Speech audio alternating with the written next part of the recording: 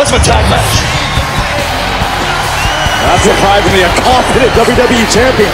Oh, very, very confident indeed. But you know, there's an old adage, gentlemen, that you keep your friends close and your enemies closer. And Drew McIntyre may very well be doing that tonight, whether he knows it or not. Sheamus teams up with his longtime friend, the WWE champion, Drew McIntyre, against John Morrison and Mr. Money in the Bank, The Miz. Next.